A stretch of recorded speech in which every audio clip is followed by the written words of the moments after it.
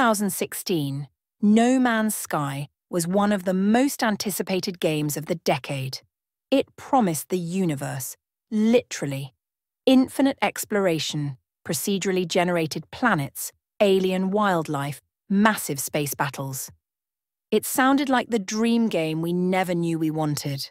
But then, things didn't quite go as planned. No Man's Sky was released to a wave of disappointment, frustration, and anger. The game was far from what players had imagined. But that wasn't the end of the story. In fact, this is where it gets interesting. To understand how we got here, we need to go back to the beginning. No Man's Sky was developed by a small team at Hello Games, led by Sean Murray. During early trailers, the team promised an infinite, procedurally generated universe. Every star, planet, creature, and landscape would be unique. Sean Murray became the face of the game, promising features like multiplayer, deep space battles, and the ability to seamlessly explore billions of planets. It all sounded too good to be true, and as it turned out, it kind of was. Hype surrounding No Man's Sky built to an unsustainable level. But when the game launched in August 2016, it didn't live up to those sky-high expectations. Players were greeted with a game that was underwhelming. The worlds felt empty. The deep space battles, not so much. And multiplayer, nowhere to be found. The backlash was intense. Refunds were demanded, memes flooded social media, and review scores plummeted. Even lawsuits were considered, with accusations of false advertising swirling around Hello Games. For a small team, this could have been the end. It would have been easy to pack up and move on. But instead, Hello Games did something unexpected. They stayed quiet and got to work. Over the next few years, No Man's Sky underwent a transformation unlike anything we've seen in gaming. Hello Games didn't just patch the game, they rebuilt it. Update after update, they introduced new features, fixed bugs, and addressed player feedback. The Foundation update brought base building, allowing players to create their own settlements. Atlas Rises added a new story and improved visuals.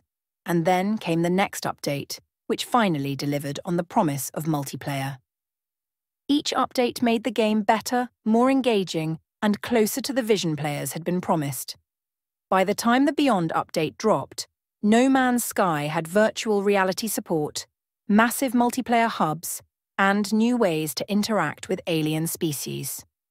This wasn't just a comeback, this was a redemption arc of legendary proportions. Today, No Man's Sky is a completely different game from what it was at launch. The universe is alive with rich, varied planets teeming with unique life forms.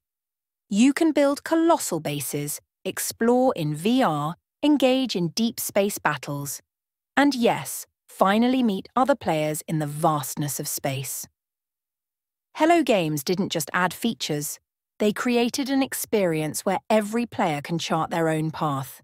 Whether you're an explorer, a builder, a trader, or a space pirate, No Man's Sky has something for you.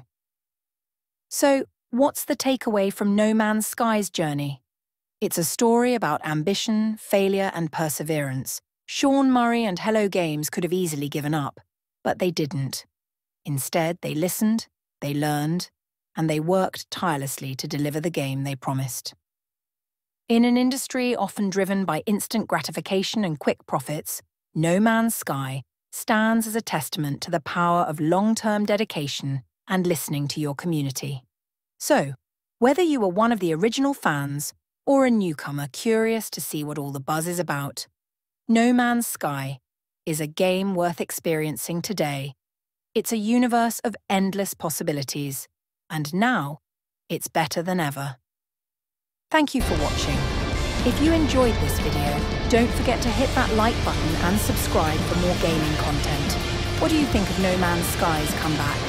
Let us know in the comments below and we'll see you out there among the stars.